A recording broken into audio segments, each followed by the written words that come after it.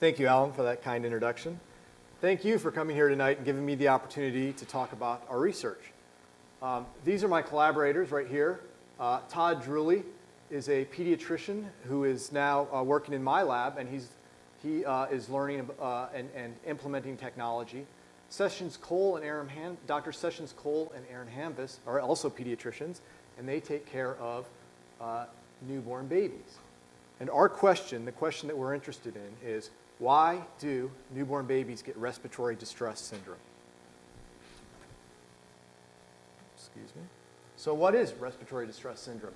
Um, this is the most common cause of death in the first month of life, okay? And 1% of all uh, newborns get respiratory distress syndrome. So, it's an important problem.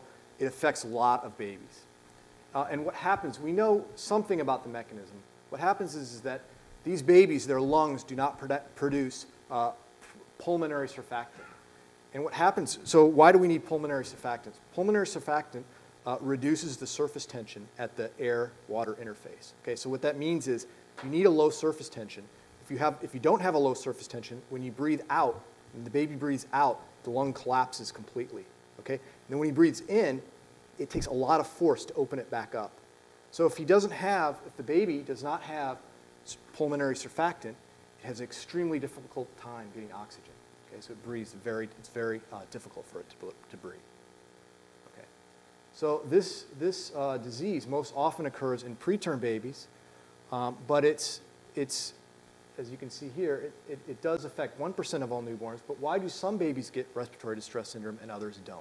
That's the central focus of our research. That's our central question, okay? So let me be a little bit more specific about, about our question. There's evidence that a great portion of the risk for developing RDS is in the baby's DNA. Okay? So, what is DNA? DNA uh, is, a, is a code. It's a code that gives the instruction set for making that, that particular baby. Okay? And this code uses only four letters. It uses A, C, G, or T. All right? Now, there are, it uses only four letters, but there are six billion of them in every one of us. And so these babies that get RDS have changes in that code or, or mutations. We'll call them, I'll call them mutations, or if you prefer variants, that's, I guess, more politically correct. Um, these babies have mutations in their code that predispose them to get RDS. So our question is, what are the sections of this code that when changed, make a baby get RDS. So what we really want at, at the end, our deliverable, is a list of places in this code that when changed cause or predispose to RDS. All right, is that clear? Okay? All right. Um,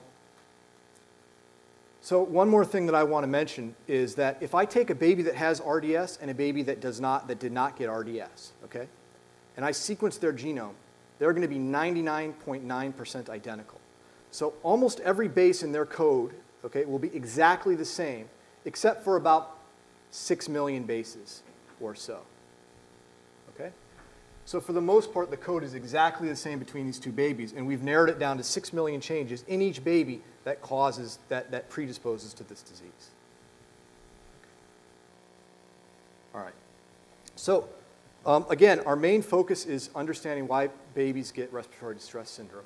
And I, and I hope that uh, I've convinced you that this is an important medical problem um, with the information I gave you on the last slide. But it's actually, I think it's actually a very interesting problem for another perspective, uh, in that respiratory distress syndrome, or RDS, is what's called a complex disease. Okay? So in the field of genetics, there are two types of diseases. There are Mendelian diseases, and there are complex diseases. Mendelian are simple diseases or complex diseases. So Mendelian diseases are caused by a single gene, okay, a single section of that code. They have a high penetrance. What that means is that if you have a mutation in this gene, okay, you will get that disease. Sometimes it takes two copies of the mutation, one from your mom and one from your dad. But if you have one or two copies of that gene, you will get that disease. All right? And it's typically pretty rare. By rare, I mean about 1 in 10,000 individuals will have a Mendelian, a Mendelian disease. It can be anywhere from 1 in 1,000 to 1 in 10,000, depending on the disease. The other class of diseases in genetics are called complex diseases. These diseases are caused by multiple genes, Okay? So it's not just that you have a, a, a mutation in one bit of your code, but you've got to have a mutation in several different bits of your code. They interact to cause a disease. Okay? Furthermore, environment often plays a role. So you may have to be exposed to a particular environment in combination with these mutations to develop disease. They're low penetrance, meaning that you can have these mutations and a lot of people still don't get the disease.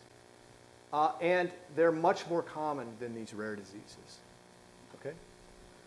So you can imagine, uh, for sort of obvious reasons and some reasons that aren't so obvious, that it's much harder to deal with, uh, to understand what's going on in complex diseases, and that means to find, to, to map the locations of the genome that cause these complex diseases than it is to understand, uh, the, to, to map, to understand which regions of the genome are causing, are mutated and cause Mendelian diseases. So what do I mean by harder? Uh, this is what I mean by harder. Um, we understand uh, 2,300 simple Mendelian diseases, and we understand really zero complex diseases. Okay? So our strategy is, is very simple from a conceptual point of view, um, but it's a strategy that hasn't been possible until very recently uh, due, to, due to technology and cost, essentially cost. So what we're going to do is we're going to sequence 2,000 genes, okay, that are expressed in the cells that produce pulmonary surfactant. Okay? And in, in 300 infants that have RDS and 300 infants that don't have RDS. Okay? And so what we're looking for is when we find a gene that has an excess of mutations in RDS infants and not in uh, normal infants, then it's likely that that gene causes disease. Okay? So all we're going to do is we're going to sequence genes.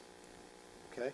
we're going to, we're going to read off these base pairs, these, these four letters, all right? And we're going to ask, does this base pair differ from the reference sequence? We have a reference genome, so we ask, does it differ? If it doesn't differ, we ignore it. That means it's not a mutation, okay? That means it can't be what's causing uh, respiratory distress syndrome because almost everybody has that exact same base. So we're going to focus in on the mutations. But just because you have a mutation, it doesn't mean that you get RDS. What you have to do is, is you have to be you, you have to see a mutation occur in the same region again and again and again in the RDS infants and not in the normal controls. Okay? And that's it. That's all we're doing. It's, it's actually pretty simple. Okay? So we're just correlating the mutations to disease. If we see a lot of mutations in the RDS infants and, then, and not in the normals, then that is a section of the genome that we want to focus on. All right. So again, just to make this, just to make this more clear, what I'm depicting here is a gene. So this is roughly 2,000 base pairs of your code, of anybody's code. One line represents 2,000 base pairs of your code. Okay? So if you can imagine here that this line could be div divided up into 2,000 different sections. Now, I look at that, in this infant, I look at the very first letter and I say, is it different than the wild type genome, than the reference genome? If it's the same, I color it black. Okay, so all of these, for example, all of these bases in this individual are the same as the reference genome, so I color it black here. And so that just means that this section, this line represents a section of the genome, and this section has no mutations. On the other hand, if there is a mutation, if there is a difference from the reference genome, I now color it red. Okay? So each of these red, red bars here represents a base that is different from the reference genome. These are potential mutations that cause respiratory distress syndrome. So here is an example where I've got one gene in my in my uh, disease cohort, in my respiratory distress uh, syndrome infants, I see an excess of mutation here. Okay, I see 11 mutations. And in my normal infants, I see three mutations. This is a big difference, and so now this would be a region of the code that we'd be very interested in. All right? And that would go on our list. And our goal, again, for this project is to simply put together a list of regions of the genome that we ought to pay attention to. Okay. Now, on the other hand, a lot of our genes we expect to look like this. We'll see some mutations, but we'll see an equal number of mutations in the normal infants and in the respiratory distress syndrome infants. Okay? All right. So we, we, want, we want to sequence a lot of genes. We want to sequence 2,000 genes. So we want to repeat that experiment 2,000 times.